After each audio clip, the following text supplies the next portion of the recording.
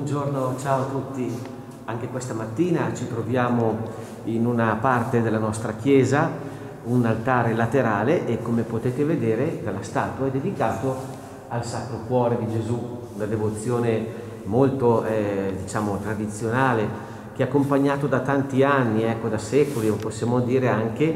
quello che è stata la preghiera di tanti cristiani.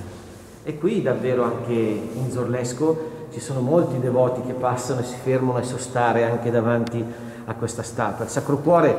quella immagine eh, indica proprio l'amore ecco, del Signore che non ci abbandona mai, l'amore che si è sacrificato per noi dandoci la vita ed è quello che celebreremo poi nella settimana santa entrante dove appunto nella Pasqua di Gesù noi celebriamo proprio la sua consegna all'umanità, la sua offerta, il suo amore che poi si è espresso in una maniera più alta morendo in croce per noi. Ecco, in tutto questo vogliamo proprio cogliere come in questi tempi qui quanti appelli abbiamo fatto e sentiamo anche alla preghiera.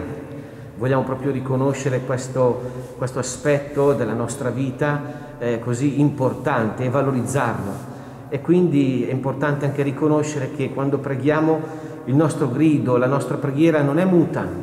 perché Dio non è sordo, Dio ci vuole bene, ci ascolta e si china sulle nostre miserie. E il Sacro Cuore appunto vuole anche indicarci questo, l'amore di Dio per l'umanità che si è espresso proprio donando la vita per noi, il suo amore misericordioso che ha perdonato i nostri peccati e che ci ha liberato da ogni male. Ecco allora teniamo sempre viva questa fiamma, la fiamma della fede, la fiamma che alimenta anche la speranza, alimenta anche la solidarietà, la fraternità tra di noi, che anche attraverso questa emergenza eh, sta un po' fiorendo, magari più di prima, la gente è più attenta anche a chi ha bisogno, mi chiede eh, tanti cosa posso fare, no, devo portare dei generi alimentari per aiutare qualche famiglia che ha bisogno, le conosce, ecco allora tutto questo fa capire che comunque in mezzo all'oscurità c'è sempre la luce, c'è sempre ecco, qualcosa di bello che deve, come dire, scaturire, che dobbiamo tenere vivo veramente per non subire queste giornate, ma comunque viverle. Certo, siamo in attesa che tutto ritorni alla normalità, però credo che sia importante non lasciarli perdere queste giornate trascinandole così, sonnecchiando qua e là e basta, ma cercando di dargli un senso,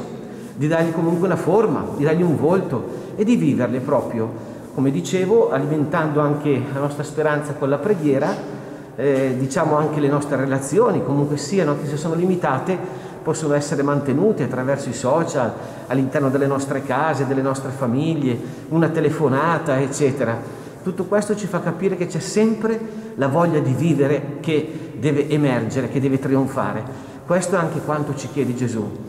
Ecco, allora vi lascio con questo pensiero e vi auguro davvero una splendida giornata. Fuori c'è già un bel sole e quindi siamo anche in un periodo molto bello, viviamo anche questa dimensione, cerchiamo anche di cogliere questo messaggio che ci offre eh, il Signore anche attraverso la natura, attraverso anche il creato, eh, accorgendoci anche di queste piccole cose che abbiamo scoperto sono veramente grandi per tutti noi. Allora un caro abbraccio e un augurio davvero di una buona, buona giornata. Ciao a tutti!